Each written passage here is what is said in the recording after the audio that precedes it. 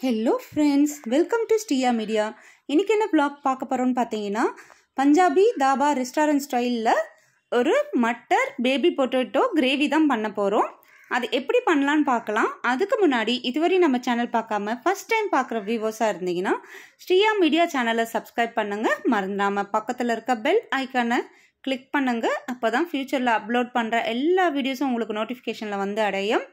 Like பண்ணுங்கள் share பண்ணுங்கள் comments பண்ணுங்கள் வாங்க வீடியோக்குள்ளே போகலாம். ஃப்ரெண்ட்ஸ் என்னோட ப்ரீவியஸ் ப்ளாக்லாம் பார்த்துருந்தீங்கன்னா ஒவ்வொரு ஐட்டமும் டிஃப்ரெண்ட்டாக தான் நான் ட்ரை பண்ணி அப்லோட் பண்ணியிருக்கேன்.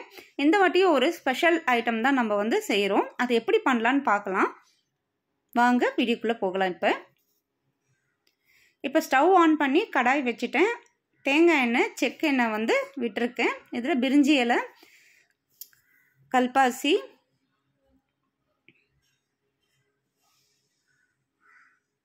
ஜாபத்ரி. ஏலக்காய் பட்டை.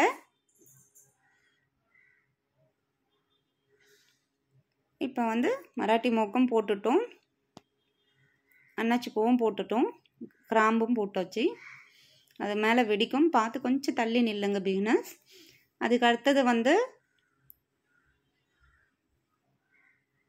இதில் வந்து நம்ம இப்போ சஜீரா வந்து ஆட் பண்ணிடலாம். எந்த அளவுக்கு வந்து நீங்கள் ஆட் பண்ணிவிடுங்க டூ ஸ்பூன் வந்து ஆட் பண்ணால் போதும். ரொம்ப ஸ்பீடில் வைக்காதீங்க கரிஞ்சிடும் எல்லாம். அதுக்கப்புறம் பொடியாக நறுக்கி வச்சுருக்க பெரிய வெங்காயம் ரெண்டு வந்து போட்டிருக்கேன். அது நல்லா வதங்கணும். ரொம்பவும் கோல்டன் ப்ரௌன் கலரில் வள வ வதங்கக்கூடாது. அதுக்கு அடுத்தது பார்த்திங்கன்னா பச்சை மிளகாவும் போட்டிருக்கேன். பச்சை மிளகா வந்து இதில் வதக்கிறப்பே தான் நம்ம வந்து இது பண்ணணும். இப்போ இது நல்லா வதங்கிறதுக்காக யூஸ்வலாக நான் எப்போவுமே சொல்கிற மாதிரி தான் கொஞ்சம் வதங்கி வரட்டும். அப்புறம் வந்து கல் உப்பு கொஞ்சம் வந்து நம்ம ஆட் பண்ணிடலாம். இப்போ நான் ஆட் பண்ணிடுறேன். இந்த அளவுக்கு நான் ஆட் பண்ணுறேன் டோட்டல் நம்ம அந்த செய்கிற கிரேவிக்கு தேவையான அளவு உப்பு போட்டுட்டேன். இப்போ நல்லா வதக்கிடலாம்.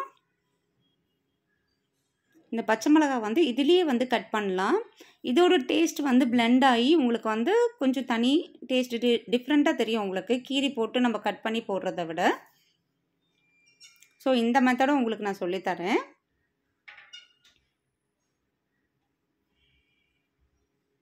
இது நல்லா கொஞ்சம் ஃப்ரை ஆகணும். அதுக்கு அடுத்தது கருவேப்பிலை போட்டிருக்கேன். மூணு கொத்து கருவேப்பிலை போட்டிருக்கேன். அதுவும் கொஞ்சம் நல்லா வதக்கிடலாம். இந்த கருவேப்பிலையோட டெக்ஸ்சர் வந்து மாறணும். பட் க்ரீனிஷாக தான் இருக்கணும். லைட்டாக அது வந்து பொறிஞ்ச அந்த டெக்ஸ்சர் வந்து வரணும். நான் இப்போ ஃபுல்லாக வந்து ஸ்பீடில் வச்சு தாங்க பண்ணுறேன் அதுக்கடுத்து பார்த்தீங்கன்னா பேபி பொட்டேட்டோ வந்து ஆல்ரெடி நான் பாயில் பண்ணி ஸ்கின் ரிமூவ் பண்ணி வச்சுருக்கேன். இப்போ வந்து ஃபோக்கில் இருக்குது இல்லைங்களா? ஃபோக்கில் வந்து இந்த மாதிரி நம்ம வந்து சின்ன சின்ன ஹோல்ஸாக போட்டுக்கணும். ஒரு ஒரு இதுவு பஞ்ச் பண்ணி விட்டுட்டிங்கன்னா அது வந்துடும் ஆல்ரெடி கொஞ்சம் வந்து நான் பண்ணிட்டேன். இப்போ உங்களுக்கு பண்ணி காட்டுறதுக்காக பண்ணுறேன் இது எதுக்குன்னு பார்த்தீங்கன்னா சின்ன சின்ன டிப்ஸ் தான். அந்த மசாலா வந்து நல்லா அதில் உள்ள வந்து அப்சர்வ் பண்ணிவிட்டு நல்லாவே அது நம்மளுக்கு அந்த டேஸ்ட்டு வந்து நல்லா எடுத்து கொடு கொடுக்கும். பொட்டேட்டோ வந்து ராவாக இல்லாமல் உங்களுக்கு வந்து அந்த டேஸ்ட்டு வந்து அதில் நல்லா பிளெண்ட் ஆகும். ஸோ இந்த மாதிரி சின்ன சின்ன ஓக்கில் வச்சு நம்ம இந்த மாதிரி ஹோல்ஸ் பண்ணால் நல்லா நம்மளுக்கு அந்த டேஸ்ட் வந்து ஃப்ளேவர் நல்லாவே எடுத்து கொடுக்கும்.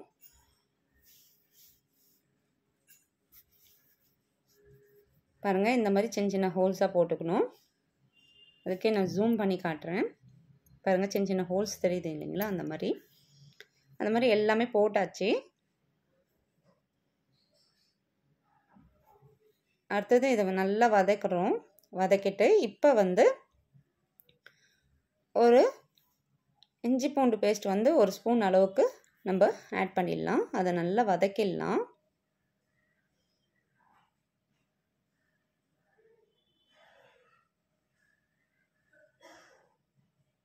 பச்சை வடை போகிற அளவுக்கு நம்ம வதக்கணும்.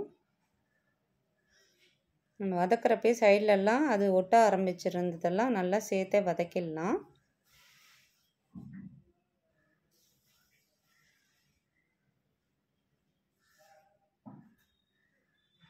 அடுத்தது தக்காளி வந்து அதிலே கட் பண்ணி போடுறேன்.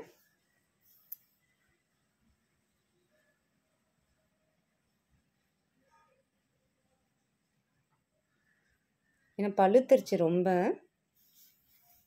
இதில் இந்த மாதிரி மூணு தக்காளி போட்டிருக்கேன். அதுவும் நல்லா மேஷ் பண்ணிக்கலாம் வதக்கிறப்பையே. மசிச்சு விட்டுடுங்க.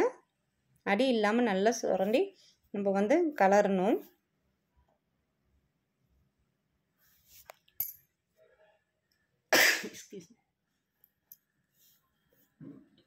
நல்லா மசிச்சு விட்டுடுங்க.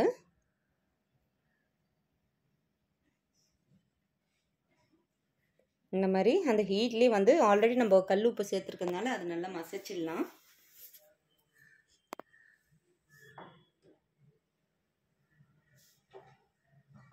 நல்லா மசிஞ்சு வந்துடுச்சு இன்னும் கொஞ்சம் முழுசாக இருக்கிற தக்காளியெல்லாம் நல்லா மேஷ் பண்ணிவிடுங்க இப்போ வந்து ரெண்டு ஸ்பூன் அளவுக்கு நான் மஞ்சள்தூள் வந்து ஆட் பண்ணுறேன்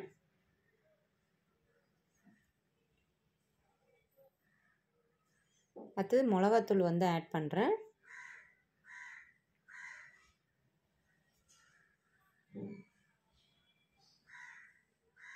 மிளகாத்தூள் அஞ்சு ஸ்பூன் அளவுக்கு நான் ஆட் பண்ணியிருக்கேன். அடுத்து தனியாத்தூள்.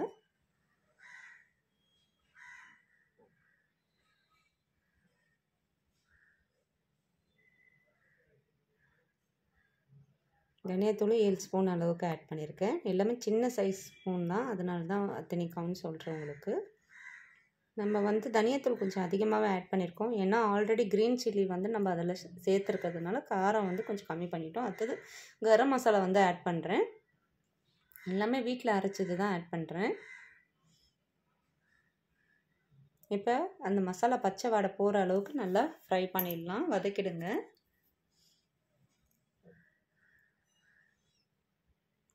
கலர் நல்லா மாறிடுச்சு. இந்த சமயத்தில் கொஞ்சம் தேவையான அளவுக்கு நம்ம தண்ணி விட்டுடலாம். நல்லா வதக்கிடுங்க. ஒன்றோட ஒன்று ஒட்டாமல் இருக்கணும் அடி பிடிக்காமல் இப்போ தண்ணி விடலாம். நான் ஒரு அரை சொம்பு அளவுக்கு தண்ணி விடுறேன்.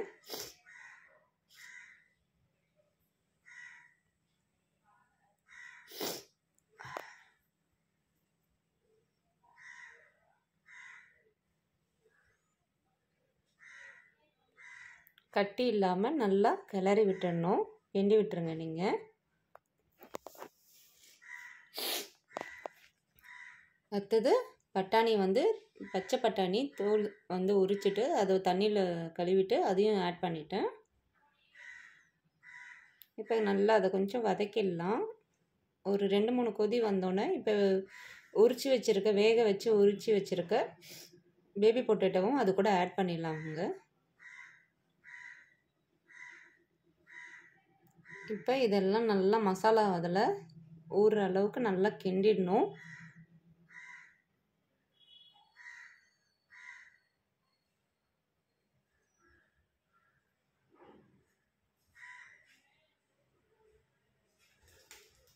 நல்லா கிண்டி விடுங்க.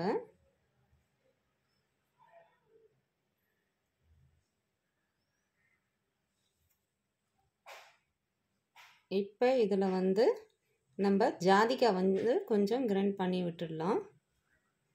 துரி விட்டுடலாம்.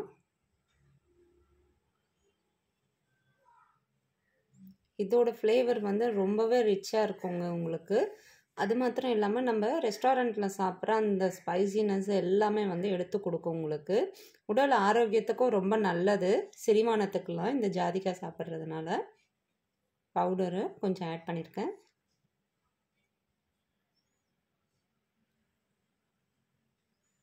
அதுக்கு அடுத்தது பார்த்திங்கன்னா கஸ்தூரி மேத்தி வந்து கொஞ்சம் க்ரஷ் பண்ணி அப்படியே கையில் போட்டு தூவி விட்டுருக்கேன். இதுதான் main special for Punjabi dhaba டிஷ்ஷே இதுதான் மெயின் இன்க்ரீடியன்ஸ் அந்த டேஸ்ட் வந்து நம்மளுக்கு கிடைக்கிறதுக்கு. ஸோ நல்லா அதை வந்து கலரி விட்டுடலாம். அடி பிடிக்காத அளவுக்கு மீடியம் ஃப்ளேமில் வச்சிடலாம். நல்லா கலரி விட்டுடுங்க.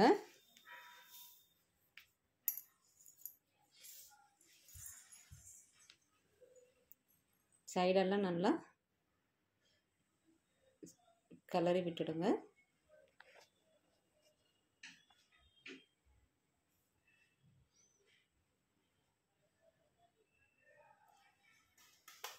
நல்லா ஒரு ரெண்டு மூணு கொதி வரணும். வந்தோன்னே ஸ்டவ்வை வந்து சிம்மில் வச்சிடலாங்க. நல்லா ஃபுல் சிம்மில் வச்சுட்டு மூடி போட்டு மூடி வச்சிடலாம். கரெக்டாக ஒரு ஃபைவ் மினிட்ஸ் போதும். அதுக்கப்புறம் ஓப்பன் பண்ணி பார்க்கலாம். பாருங்கள் எவ்வளோ அருமையாக வந்திருக்கு. வாசனை வந்து அந்த அளவுக்கு டெம்ட் ஆகுதுங்க. உடனே இப்பயே சாப்பிட்றலாமா டேஸ்ட் பார்த்துடலாமான்னு இருக்குது ஆக்சுவலாக இந்த டிஷ்ஷை நம்ம ஸ்டார்ட் பண்ணுறப்பயே அந்த வாசனைக்கு வதக்கிறப்பயே என்னோடய பெட் வந்து பைரவ் வந்து வந்து உக்காந்துட்டாங்க கிச்சனில் அதுக்கப்புறம் இது செஞ்சு எப்போ முடித்து நான் எனக்கு கொடுப்பாங்க அப்படின்னு காத்துட்ருக்காரு அவர். பப்பி. ஆக்சுவலாக அவங்களுக்கு பொட்டேட்டோ அந்த பீஸ் பட்ட மட்டர் வந்து ரொம்ப வந்து ஃபேவரட் ஐட்டம் அவருக்கு. சிக்கன்லாம் ஒரு டாக் எப்படி நம்மளுக்கு ஃபேவரட் சொல்கிறோமோ அந்த மாதிரி. இப்போ கொத்தமல்லி வந்து நறுக்கி பொடியாக வச்சுருக்கிறதும் அது மேலே சேர்த்துடலாம். இப்போ கொஞ்சம் கலரி விட்டுடலாம். கலரிட்டு மறுபடியும் நான் கொத்தமல்லி வந்து மேலே தூவுவேன். சர்வ் பண்ணுறப்ப அதனால தான் கிளறி விடுறேன். அதோட ஃப்ளேவர் வந்து பார்த்திங்கன்னா நல்லா பிளண்டாகவும் ஒரு நல்ல ஒரு ஸ்மெல் வந்து எடுத்து கொடுக்கும். இப்போ எப்படி சர்வ் பண்ணுறது பாருங்கள் நான் இந்த மாதிரி தான் சர்வ் பண்ணியிருக்கேன். கொஞ்சம் டெக்கரேட்டிவ்க்கு கொஞ்சம் ஒரு நாலு கொத்தமல்லி தலையும் வச்சுருக்கேன் மேலே. என்ன ஃப்ரெண்ட்ஸ் கண்டிப்பாக உங்கள் எல்லாருக்கும் இந்த வீடியோ பிடிச்சிருக்கும்னு நினைக்கிறேன். கண்டிப்பாக ட்ரை பண்ணி பார்த்துட்டு உங்களோட ஃபீட்பேக் வந்து என்னோடய கமெண்ட்ஸ் பாக்ஸில் மென்ஷன் பண்ணுங்கள் கண்டிப்பாக இது வந்து பார்த்தீங்கன்னா ஒரு super side dish for everything எல்லாமே வந்து ரைஸாக இருக்கட்டும் அதுக்கும் சரி சப்பாத்தி பூரி எல்லாத்துக்குமே சூப்பராக இருக்கும். தோசை இட்லி எல்லாத்துக்குமே நல்லா இருக்கும் combination. Side dish for everything ரொம்ப ஹெல்த்தியான ரெசிபி வேறு. மீன் கண்டிப்பாக உங்களுக்கு பிடிச்சிருக்கும். ட்ரை பண்ணி பாருங்கள் மீண்டும் அடுத்த ஒரு விலாகில் சந்திக்கிறேன்.